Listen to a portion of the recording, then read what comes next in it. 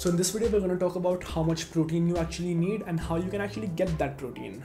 So in India as a country, it's almost like an epidemic where most people, especially people who are vegetarian, do not consume enough protein on a daily basis. People who eat non-vegetarian may be consuming enough protein, but even there, it's, it's highly unlikely that you consume as much protein as you need. You'll come in one of two main categories, and that will determine how much protein you actually need on a daily basis.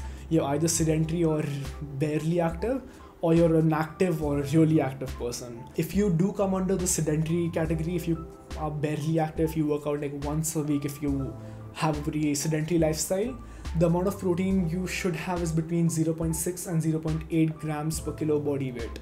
So how do you do the calculations? 0.6 to 0.8 multiplied by your weight in kilos and the answer you get is the amount of protein you need in grams on a daily basis. If you are, however, more active than the sedentary person, if you work out multiple times a week, or if you're pretty active, your protein requirement is a lot higher. For people who are much more active, I would suggest between 0.8 to 1.2 grams per kilo body weight. So, same calculations 0.8 to 1.2, depending on how active you are on that scale, multiplied by your body weight, grams of protein. Now, to find out if you are actually consuming enough protein on a daily basis, write down eh, what you eat, what time you eat for three days, and put that into one of many calculators available. And you'll have a rough idea of how much calories, protein, carbs, and fat you eat every single day. And you can see if you are meeting your requirement or if you're even close to it. If you are meeting it, well and good. But if you aren't, that's where it's a little problematic. There's also a third way of calculating the amount of protein you need, and this is what I call the delta, the change of your lifestyle. So, if from a sedentary person you have recently started working out a lot more, so from a regular desk job or from a regular student you have started working out three four times a week.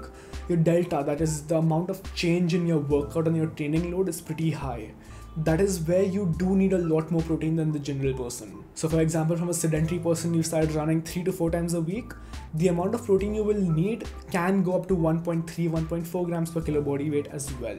And please understand this delta will keep changing. There's no perfect equation that will give you the exact figure you need every single day, but this range is where you should ideally be. However, if you continue working out that same amount, or have minimal increments in that and you've been doing it for a long time, your delta, that's the change stops starts coming down, and that means you don't need that much protein to sustain whatever you're doing any longer.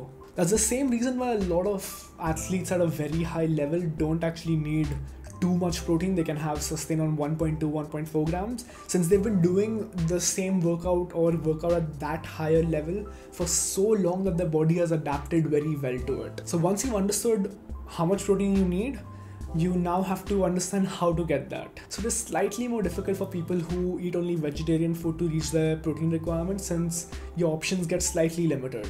So as a vegetarian, you definitely will have to increase the amount of dal you eat because that's one of the richest sources of protein. Along with that, you can also have stuff like soy, you can have stuff like oats, you can have nuts, you can have other such things. But if for whatever reason you cannot reach your protein requirement on a daily basis, please please buy protein powder and supplement yourself there is absolutely nothing wrong with having protein powder as a supplement i have multiple scoops myself a day as long as you buy one which is from a reputed trusted brand and as long as you can make sure it's original protein you should be fine. And the same suggestion applies to non vegetarian people as well. If you aren't meeting your protein requirement for whatever reason, please do not be scared to supplement whatever protein you need. So yeah, hopefully you've understood how much protein you need and how you can even get that protein. If you want to know what kind of foods you can have to eat more protein, just Google it. You'll find a lot, a lot of options and recipes to find exactly what you want to eat. So yeah, you put yourself in one of two categories and eat and consume as much protein as you want every single day. And remember, please make the process fun. The amount of protein you need, the calculations, how you get it is a simple process. There's no need to complicate it. Do not listen to other people who say, oh, you need this kind of protein. Simple whey protein will suffice. Anything that's just not regular whey, and it's a good chance that you're wasting all the money you spend on it. Other proteins are not bad, but it's a very high possibility that simple whey protein will give you everything you need. You won't need extra additional supplements or protein to require your daily amount. So, yeah, keep it simple, and life is too short not to have fun. Do not complicate the process.